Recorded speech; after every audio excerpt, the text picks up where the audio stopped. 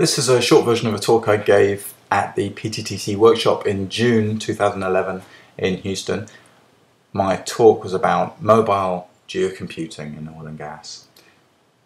So until quite recently I was a an iPhone user, loved my iPhone, it was fantastic, they're amazing devices. Then I got this Android phone and I've been having a lot of fun with it, not so much because of the phone, but because of some of the things I can do with it and in particular, I've been using App Inventor to build some apps, sort of like sciencey calculators and things for my phone. There's an example of one of them that literally just took a, few days to make. I think I had this version of it running um, with, within a week or so. It was very exciting for me. I felt really liberated by um, by this tool, so I want to tell you a bit about it.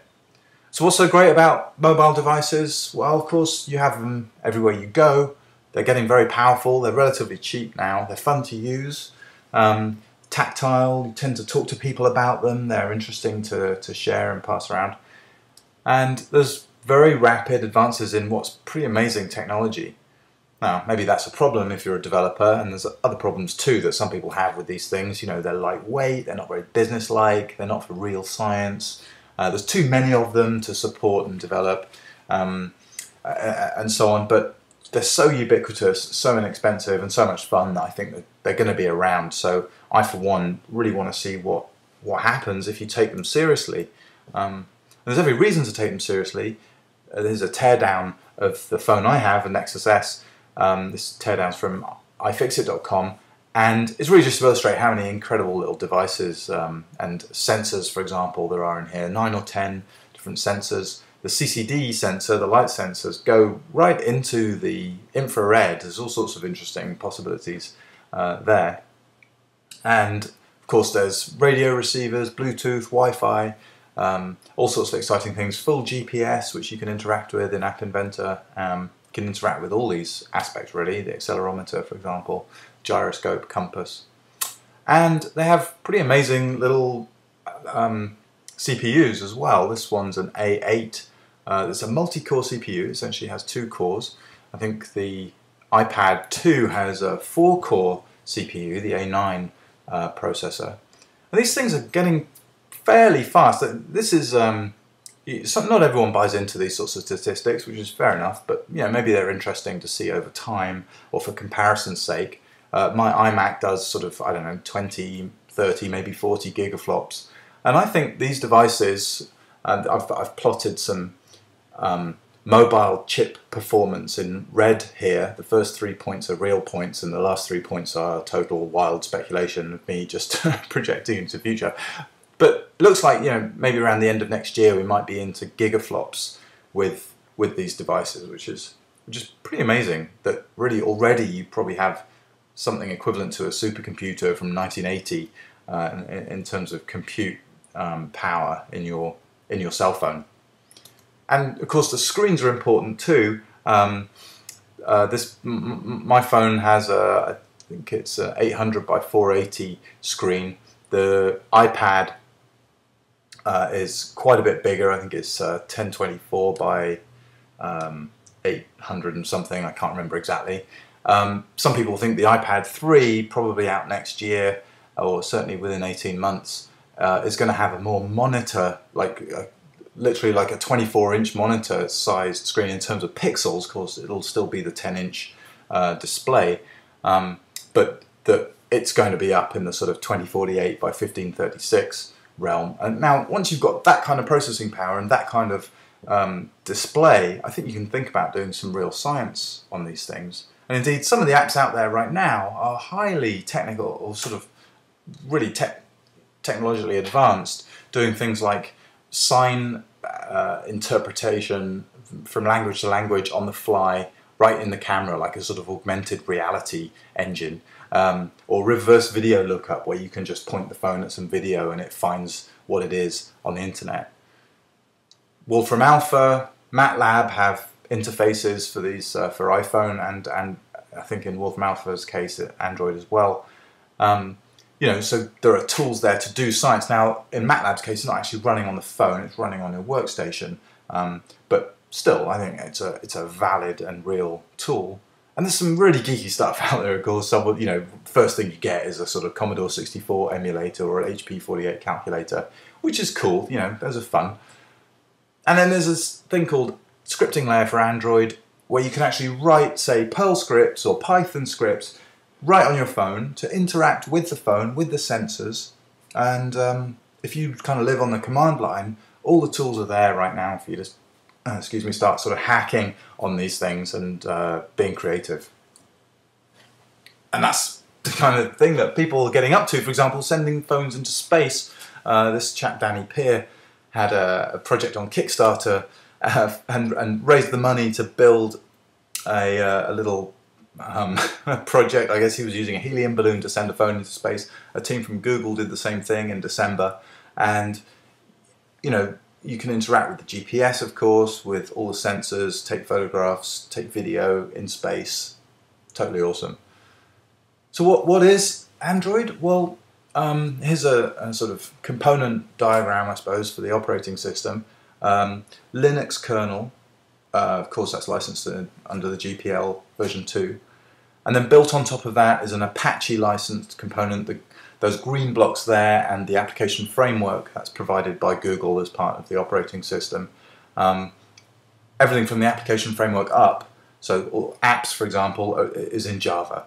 Um, now I'm using App Inventor to make my Java. I never actually get to see or interact with the Java itself. Um, but that's how that works. Now, the programs can be licensed any way you like, just like uh, normal uh, software people are building these open source frameworks for building apps. Uh, these are relying on things like as well, well uh, things like HTML5 and JavaScript to try and um, free them from uh, device dependence. So these open source frameworks can be used to build things on a sort of uh, cross platforms, iOS, Android, BlackBerry even. Now there are open source apps out there. Here's one for iPad called Molecules. Uh, there's another one there for Android. And these things are hosted on SVN, GitHub, and so on, just like regular software. Now, I've started a list at agileinterpretation.com in our wiki, uh, tried to just collect some uh, apps that we know about for Android and for iOS um, that are for doing geology and geophysics. If you know of any, please go along and add them. It's a wiki. I'd love for you to um, make that list even better for other people. So where's all this come from? Well, uh, Android came out of Hal Abelson's, um, I think he was on secondment from MIT Media Lab to Google a, a, a year or two ago and essentially helped them build App Inventor. Uh, now, App Inventor is a blocked, uh, or sort of block-based visual programming language. Uh, it's got its heritage in OpenBlocks. I think it's called basically uh, a, a, visual implementation of StarLogo, which is a, a, programming language out of MIT Media Lab. Um, another manifestation of this is MIT Scratch, which you can go download and play with. It's a really cool um, tool for kids to learn how to program uh, and a lot of fun to play with. You can build games and so on. So what does App Inventor look like? Well, it, it all lives in the cloud, so everything runs in your browser. Um, here's appinventor.googlelabs.com. If you've already got a Google um, account. You can just go there, start using it right away. Um, this piece here is the component viewer. So you, essentially you're building a GUI by adding components and the components have properties uh, which you see in the blocks editor, which is here. Um, there's lots of different kinds of blocks. The blue ones there are just initializing variables. The green ones are all um, listening for things that happen in the GUI, like button clicks and so on. And the purple ones are procedures. Uh, here's an example of a procedure. This one is doing Gassmann fluid substitution. Um, you know, it's a bit clunky because you have to use these blocks to kind of do your mathematical operations in pairs. Um, uh, so the operators all just have two terms, so you have to kind of build up your operations like this step by step. And then all each row there does is it sets some kind of variable in blue uh, on the left there, and then um, when you get down to the bottom, it's starting to actually do the calculations. And there's all the usual tools you'd expect in a program with, um, you know, logic, um, for loops, while loops, um, all that kind of stuff. It's pretty, it's pretty powerful. here's an example of the output. Uh, this one's doing AVO modeling. Um, there's on the left there is the view I get on my phone. You have your phone plugged in while you're developing, um, so you can see everything on the fly. As soon as you make a change, it happens on the phone. Um, alternatively, you can use the emulator, software emulator, which runs on your computer. So you don't even need an Android phone, actually, to do this stuff. You can just go run the emulator and you can start building apps right now. Um, interesting thing here on the left there is that graph. Of course, I was a bit stumped by how to draw a graph and not being a programmer, but um, Google, again, come to the rescue. They have this web API um, for charts. So all I have to do, actually, it turns out, is construct this rather horrible looking URL. And it only looks horrible because I'm drawing three curves there. So it's got the Aki-Richards equation in there twice and the Shuey equation all encoded in that URL, which I just sent to Google and they send me back a, instead of a web page, um, they're sending back a little chart, a, a, a PNG file back over the internet, which I can then display in my app. So I don't have to do any of that uh, chart drawing in the app itself, it all just happens online. It's extremely cool. Really cool is that companies like Opani are taking that sort of concept of a web API and saying, well, what if we make the server side really powerful by full-on cloud computing, cloud storage, and we put MATLAB on there and we put Octave on there and R and Python, and then people can actually just run their scripts on any kind of device just through the internet and we'll run it on this. If you want, you can run it on a thousand processors. Uh, extremely powerful, basically putting a supercomputer um, anywhere you can get a browser. Very exciting stuff. And so, anyway, some of the things that we're doing, I guess, uh, aren't quite so grand, but yeah, we have some plans to uh, put some more of our cheat sheets into apps. I want to build a web API myself, just for fun, really, but um, want to deliver um, synthetic gathers, which I think kind of could be kind of fun. Um, doing seismic attributes from photographs I think could be interesting. Horizon attributes, you know, what does curvature look like if I run it on here? I think that might be an interesting learning tool for uh, interpreters.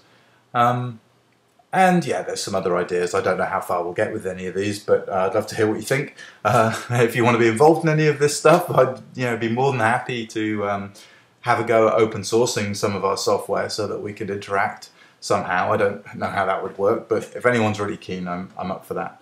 Um, just give me a shout. Um, and that's it. That's all I wanted to say. Uh, we're having a blast building these uh, tools and just learning more about mobile and about programming even, dare I say it, such as it is in App Inventor. And um, so stay tuned. We put everything out on agilegeoscience.com.